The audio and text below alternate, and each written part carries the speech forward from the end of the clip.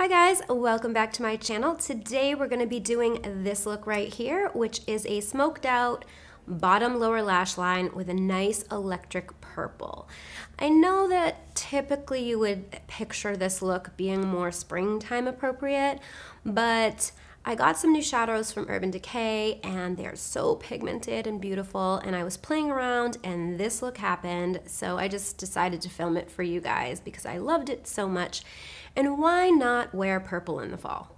You can play with the lip look here. I kept things very simple because I really wanted the purple to pop out and it matches my background. So if you guys want to learn how to get this look, then keep watching.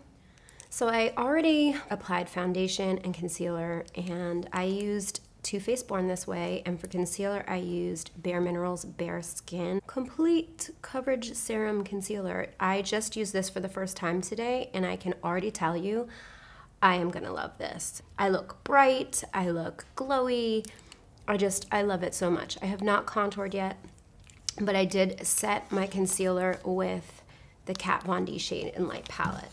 So I want to jump into this eye look. First, I'm going to start by priming my lids. I'm using Urban Decay's Primer Potion. For this eye look, I'm starting out with the Naked Basics palette. And it's basically a palette of all matte neutral shades. It's a really great palette to use to start your looks. And I'm going to take the shade Naked 2 and I'm going to use that as my transition shade.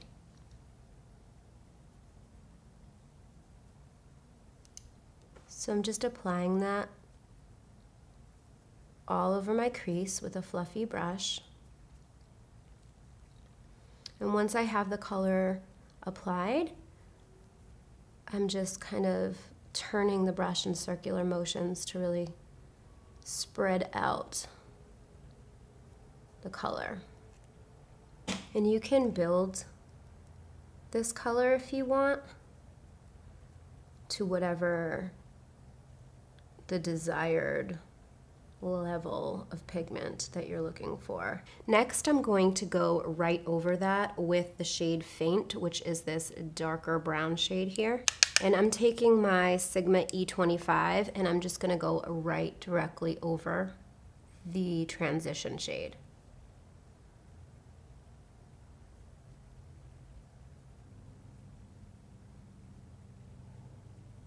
With my Sigma E56 and Urban Decay Single Shadow and Half Baked, I'm going to just pack that all over the lid. I love how pigmented and foiled this looks without even having to apply Studio Fix or Fix Plus. Just right out of out of the container, it looks so shimmery. I'm gonna kind of go into my inner corner a little bit because it's such a shimmery shade. The next with a pointy brush, I'm using the 231 from Zoeva. I'm gonna go back into that brown color, one we used here in our crease. And I'm just gonna kind of carve out that crease a little bit more. This will clean up any of the uh, half-baked that got into the crease. And it will just define it just a little more.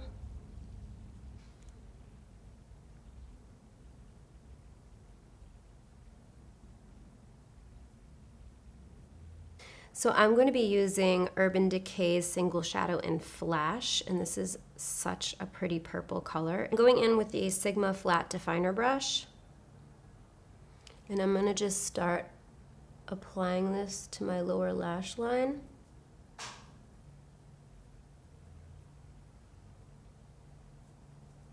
with my Zoeva 231 and kind of go over it deepen the color and also to bring it down a little bit more.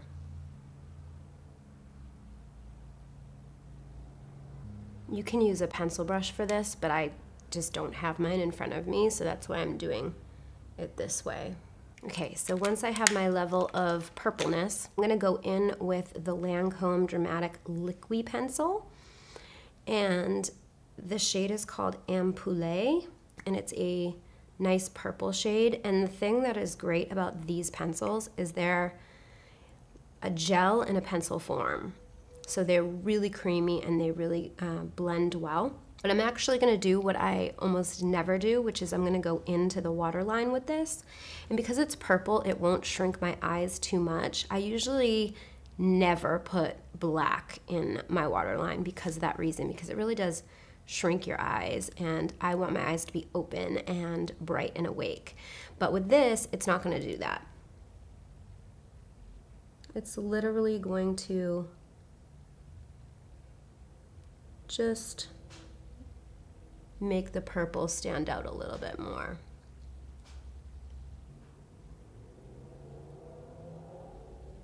And I'm not going all the way into my tear duct. I am only staying to the outer kind of three quarters, but see how much of a difference that made? It just kind of made it a little bit more vibrant. And then this pencil is called Lame it's also Lancome one, and it's kind of just like a like a highlight color. It's like a champagne and I'm just gonna apply that right in to the space on the bottom that I didn't apply purple. So I'm going to be drawing a wing today and I'm using Marc Jacobs Magic Marc'er. I talked about this in my favorites video and I really love this pen. So I'm just going to start by drawing the line out towards my brow and then I will connect it but I don't actually connect it directly I actually will kind of go parallel to my uh, my lid because I want my eyeliner to be a little bit thicker so I'll show you what I mean so I start like maybe a little bit parallel and I'll connect that up.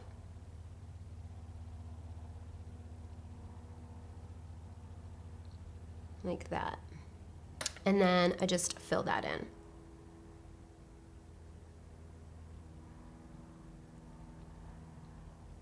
So that's the wing. And now I will kind of bring that all to the lash line. like that.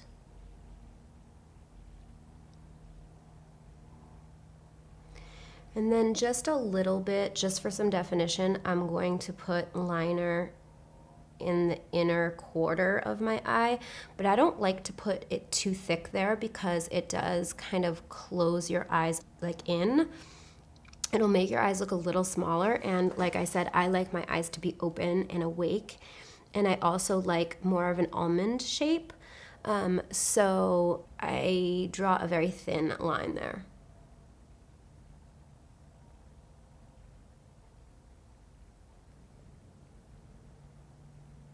So now I'm going to do the same thing on the other side. Okay, so once that is where I want it to be, I'm going to curl my lashes. And I'm going to add falsies. Today I'm using House of Lashes in Bambi. Okay, the glue is still drying on these lashes, but I've decided that I don't like the way they look at all. The thing with the Bambi lashes, they stick out a little straight and they don't curl. And they also don't, I want something that elongates a little bit and these don't. So I'm gonna pull them off and I'm gonna switch them out. I'm gonna be using Mink Lashes by Lash Bunny. Okay, these lashes are a hundred times better. So now I'm gonna move on to the contour. So I'm going back to my Kat Von D Shade and Light palette and I'm gonna take this lighter contour shade here and I'm using my Real Techniques 301 contour brush and I'm just going to carve out my cheek area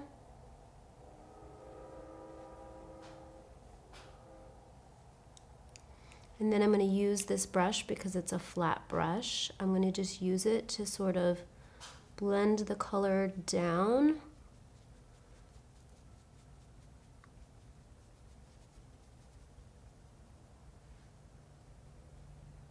And it really creates like the perfect line. It's clean, it's not kind of bleeding into this part here. So I'm gonna do the same thing on the other side. And once I have that blended sufficiently, I'm gonna go in with this darker, this darker shade and I'm gonna mix it with the middle shade. And I'm gonna use that to warm up my face. So I'm gonna start on the forehead and bring it down along the edges of my face and my jaw. And then I'm going to drag it down the neck. And then just to kind of contour, to add some depth to the contour, I'm just kind of go going over just the, just the inner part here.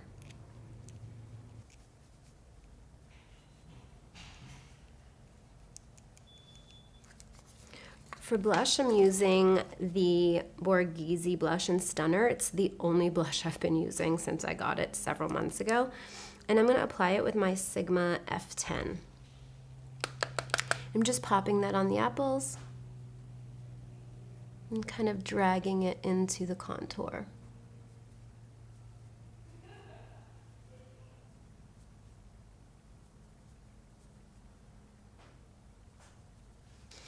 For highlighter, I am using Champagne Pop by Becca, and I am applying with the Zoeva 129 fan brush.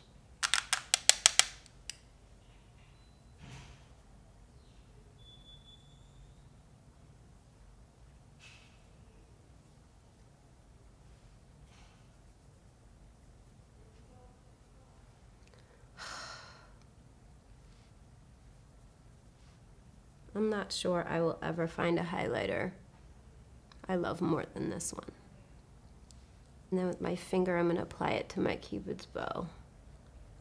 I like to go all the way up that little area under the nose. And then I will take my MAC 224 and I like to apply it right in this inner corner here. It's not the inner corner of your eye, it's sort of the inner corner of your nose. And it just picks up light in such a pretty way. And then if you want to, you can go over your brow bone with it as well, just lightly. For the lips, I am lining with Sephora's pencil in Nude Beige. And I just like to fill my lips in with this. And then I'm using Too Faced lipstick in Naked Dolly.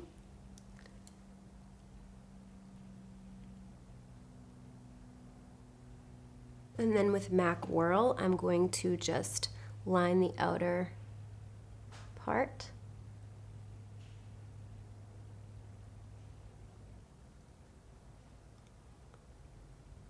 And I kind of decided I want to contour a little bit. So I'm just going to do that. For gloss, I'm using Buxom Full On Lip Polish in the shade Dani. It's like a purpley pink shade.